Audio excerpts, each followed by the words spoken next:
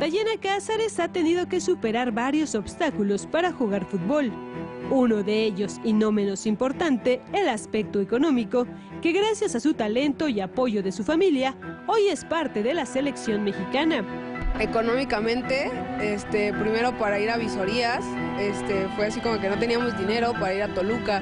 Y entonces yo eso sí se lo agradezco de corazón a mi abuelita, que me apoyó y me dio el dinero que, o sea, ni me había visto jugar y confió en mí me dijo, ten, hija, sé que te vas a quedar, me dio el dinero, fuimos a visorías y me quedé.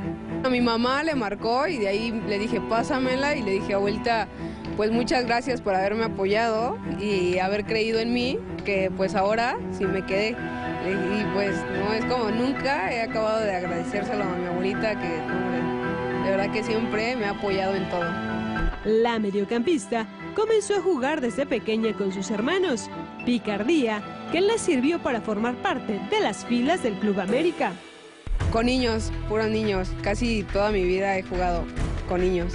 Son unos recuerdos que no se olvidan porque también jugué con mis hermanos, o sea, ahí es lo mejor, jugar al lado de tu familia. No, hombre, no, no me respetaban, iban con todo, era como que, no, también es hombre, así que le jugamos igual, al tú por tú. Y pues era así, y pues por eso yo creo que estoy donde estoy ahorita. Dar todo en la cancha por este club, por mi familia, por mí más que nada. Meter muchos goles, este, llegar a línea de fondo en la banda, todo.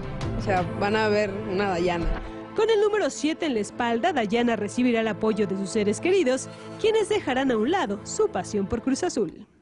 Pues mis papás le van al Cruz Azul y es como que, como que la América, ¿no? Pero pues dicen, nosotros te vamos a apoyar en cualquier equipo que estés. Y yo pues los, les digo que se van a tener que poner la playera del América y eso. Y pues dicen, pues ya que, ni modo, pues sí. Y dice, pero nada más con tu nombre, dicen.